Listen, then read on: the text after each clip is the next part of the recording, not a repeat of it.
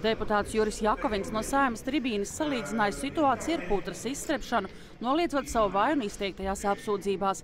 Jakovins aicināja atbalstīt viņa izdošanu krimināla vajāšanai, lai varētu normāli visus šos jautājumus atrisināt. Pat cik deputātiem nav citas iespējas kā tikai, kā tikai caur kriminālu procesu, caur tiesu attaisnot savu, parādīt savu taisnību vai pierādīt to, ka es nevainīgs, tad Eh, diemžēl šoreiz man jums jālūdz visiem atbalstīt eh, komisijas lēmumu, lai es varētu eh, normālā krimināla procesā, tiesā visus šos jautājumus atrisināt, parādīt, un tad paskatīsimies, kurš universitātē ir stiprāks, vai nu vecie mediķi vai jaunie juristi, kas tagad mums te strādā knabos, un kā mums norit, kā mums norit šī izglītības reforma.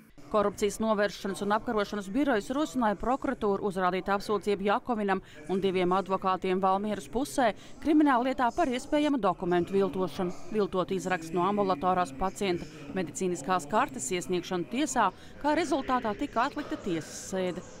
Par Jakovinu izdošanu nobalsoja teju visi klātesošie, izņemot Aleksandru Kirsteinu un Dītas Šmitu, kuri atturējās, un vairuma Latvija pirmajā vietā frakcijas, kas izvēlējās balsojumā nepiedalīties.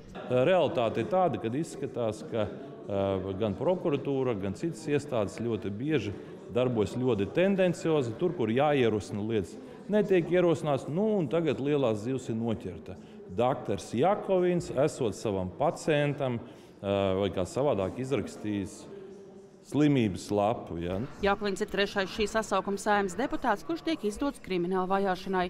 Krimināla vajāšanā izdots deputāts var pilnvērtīgi turpināt darbu parlamentā, gan piedaloties saimas un komisijas sēdēs, gan arī tajās balsojot un saņemot pilnu atlīdzību par deputātu pienākumu izpildi.